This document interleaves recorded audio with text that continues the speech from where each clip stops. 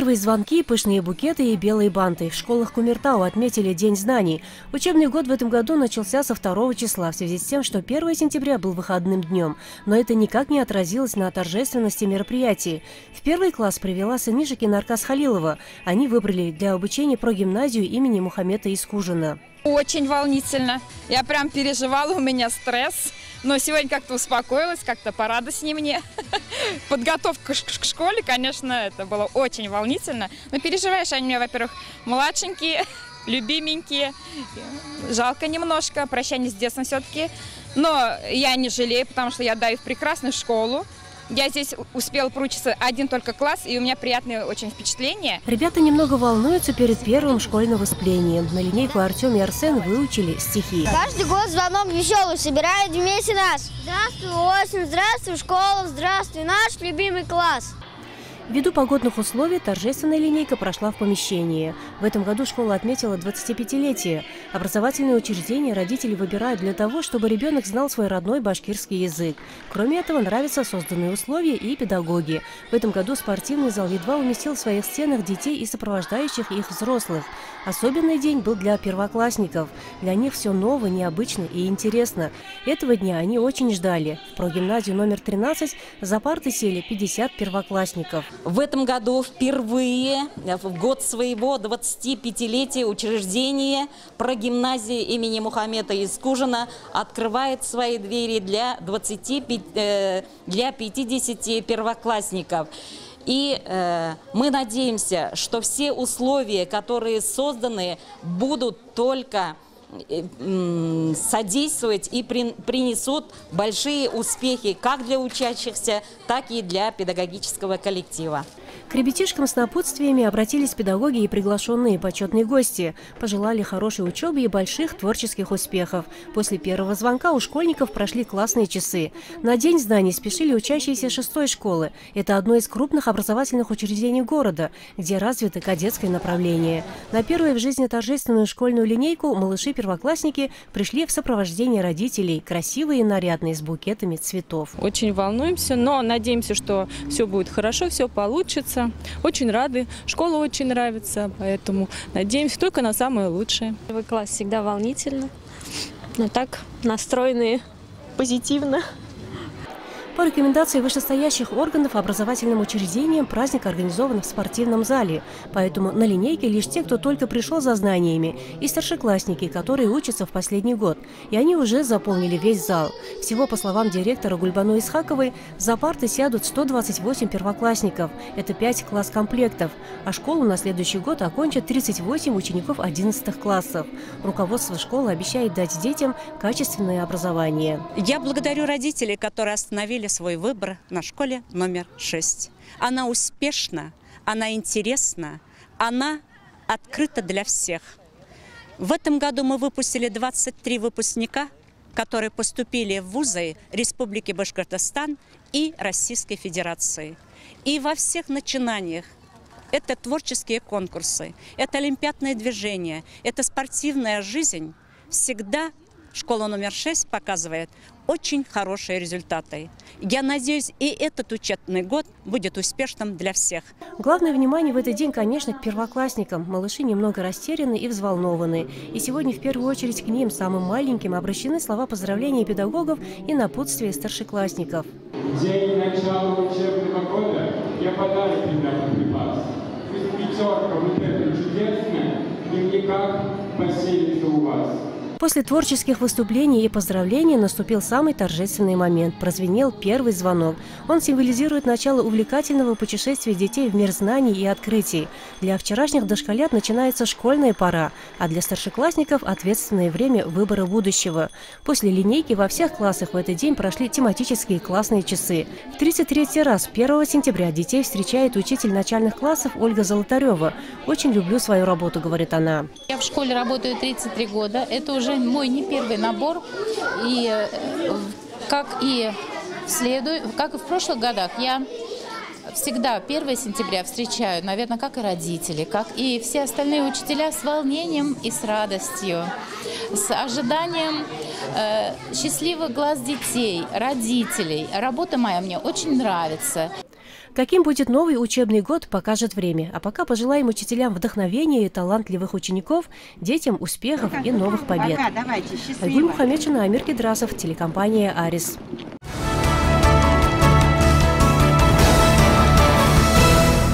Красивые банты, школьная форма и море цветов. В школах России прозвучал первый звонок нового учебного года. Кто-то уже с осени начинает готовиться к выпускным экзаменам и поступлению в вузы, другие же впервые сядут за школьные парты. В сельской школе Новому Рапталова, которая в этом году отмечает вековой юбилей, состоялась торжественная линейка для учащихся и их родителей. Этот учебный год у нас особенный, потому что школа имеет столетнюю историю. В этом году мы будем праздновать э, в конце сентября столетний юбилей нашей школы.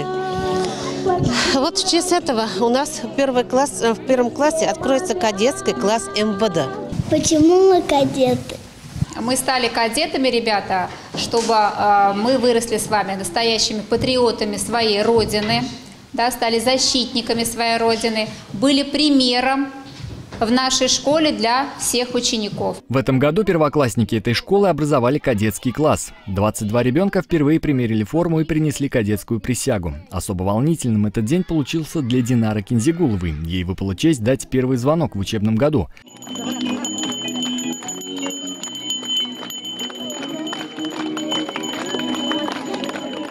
Теперь Динара может с гордостью говорить, что она кадет Новомурапталовской школы. Кадеты – это защитники. В школе там учат буквы, писать, читать. Мы любим учительницу.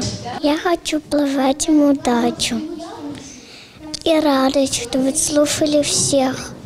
И учители, свою маму с папой. 1 сентября волнуются не только школьники, переживают и их родители. В этот день они вспоминают свои годы, проведенные за партой. Будто вчера их мамы и папы приводили на линейки, и вот теперь они уже в качестве родителей отправляют своих детей в школу. Вы помните свой первый день в школе? Конечно, помню. Этот незабываемый день э, в жизни каждого, наверное, ребенка. Первый класс меня мама повела с букетом, белым фартуком, в форме это не забывается. Надеюсь, и для наших детей этот день останется на всю жизнь. И вот сегодня уже вы в роли мамы привели своего ребенка на 1 сентября. Какие эмоции испытываете? О, с утра волнение, даже можно сказать с вечера. Мы очень волновались, готовились. Прямо вообще с трепетом относимся к этому дню.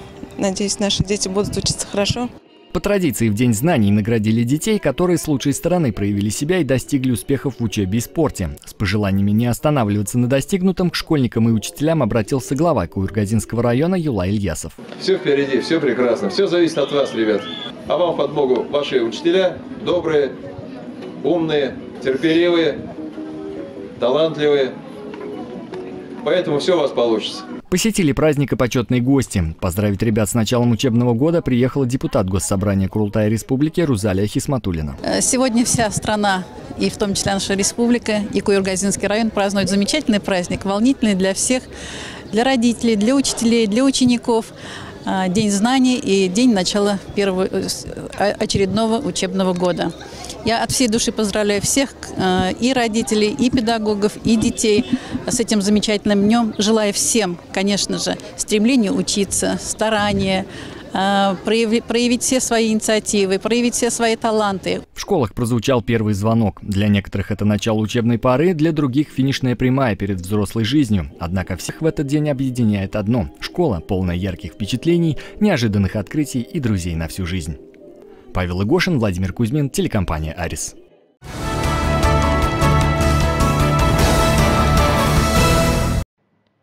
Детский сад «Радуга» – ровесник города. Первый его корпус был открыт в 1953 году на станции Кумертау Куйбышевской железной дороги. В 1983 году к этому зданию был сделан пристрой с пищеблоком, музыкально-спортивным залом и двумя групповыми помещениями. Сегодня один из старейших детских садов города, как никакой другой, остро нуждается в ремонте. На сегодняшний момент у нас самая больная тема – это наш забор. Смета готова, экспертиза пройдена, вот ждем выделения финансов.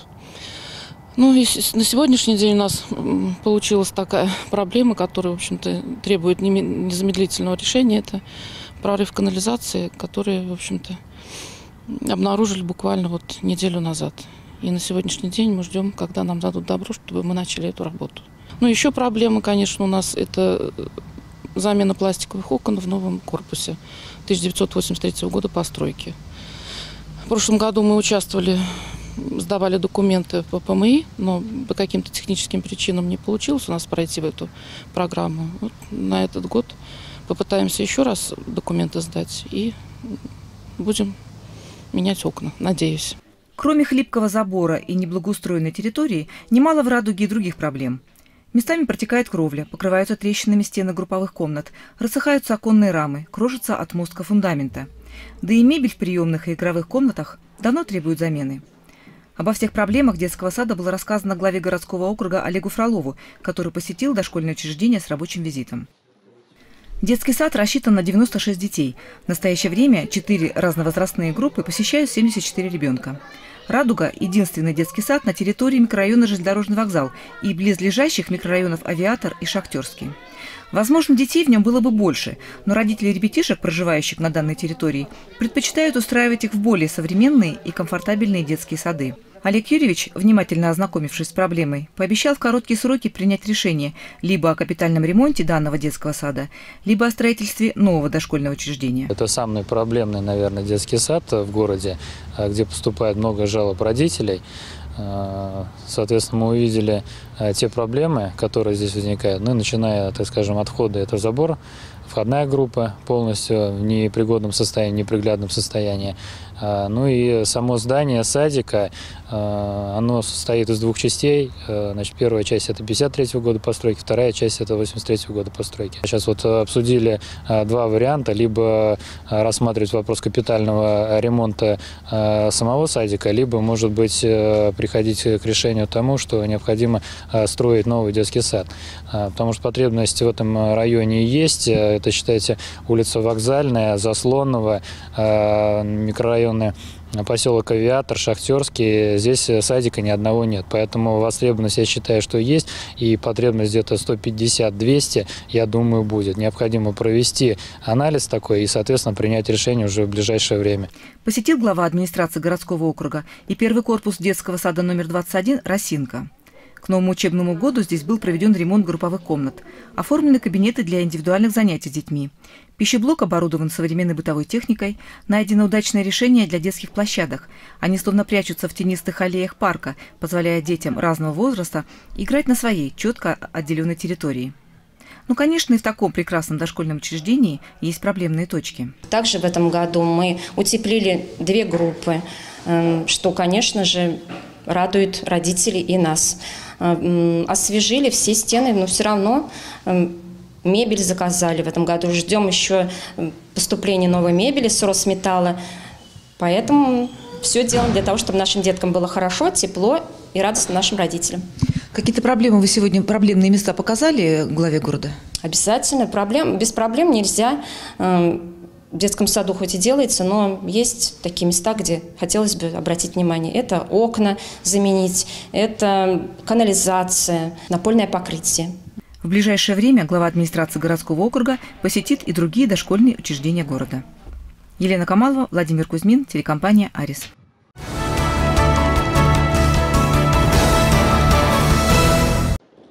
В Республике Башкортостан продолжается реализация проекта «Земский доктор».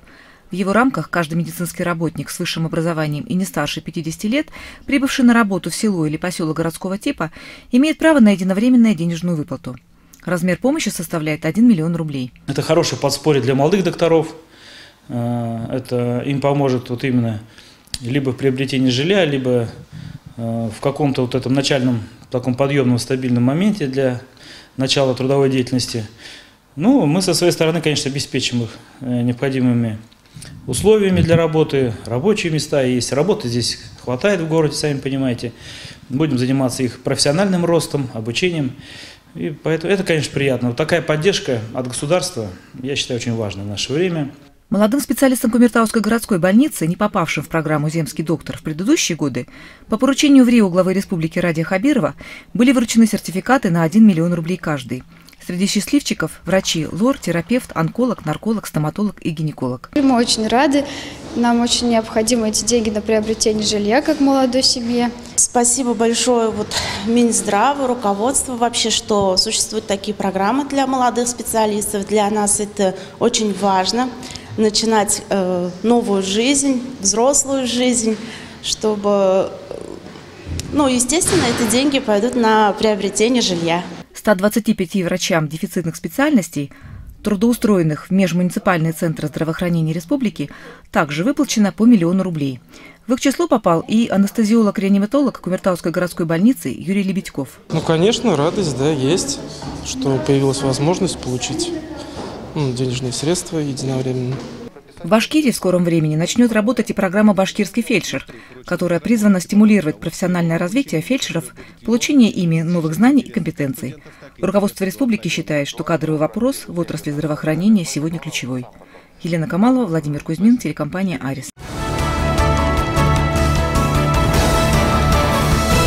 В городской администрации прошло заседание Координационной комиссии по противодействию коррупции.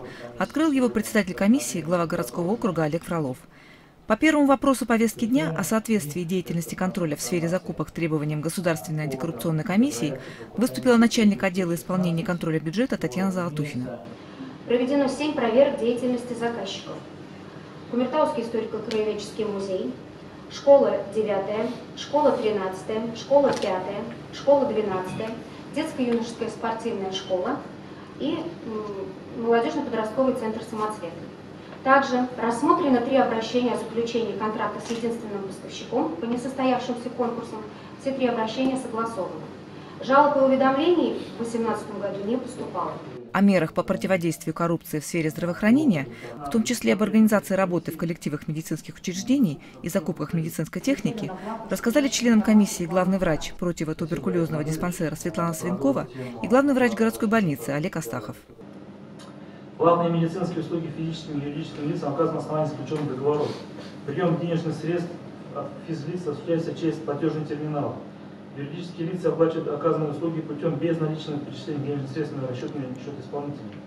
То есть у нас хождения наличности э, в настоящее время больницы уже несколько лет нет.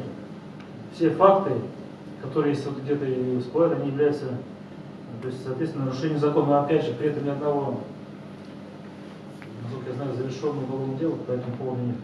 Специалисты агентства по развитию территорий провели социологический опрос горожан об уровне коррупции на территории городского округа. О данных исследования рассказал заместитель главы администрации по вопросам развития предпринимательства Константин Кашников. Эффективными мерами по борьбе с коррупцией, по мнению опрошенных, является ужесточение законодательства, интенсификация работы правоохранителей и повышение юридической культуры – Чуть более четверти респондентов считают, что коррупция неистребима вообще. По результатам проведенного опроса об уровне восприятия коррупции в городском округе города Кумертау можно сделать вывод о том, что коррупция была и остается одной из самых острых проблем и серьезным препятствием на пути развития города, которое, несомненно, наносит ущерб росту экономики и социальной стабильности, значительно уменьшая поступление в бюджет, снижая уровень доверия к органам власти и представителям других властных структур. В анонимном социологическом опросе участвовало 600 кумертаусов разного возраста и социального положения. Основная часть респондентов под коррупцией понимает взяточничество и использование служебного положения. Большинство опрошенных горожан лично ни разу не сталкивались с проявлением коррупции на территории городского округа. Елена Камалова, Амир Кидрасов, телекомпания «Арис».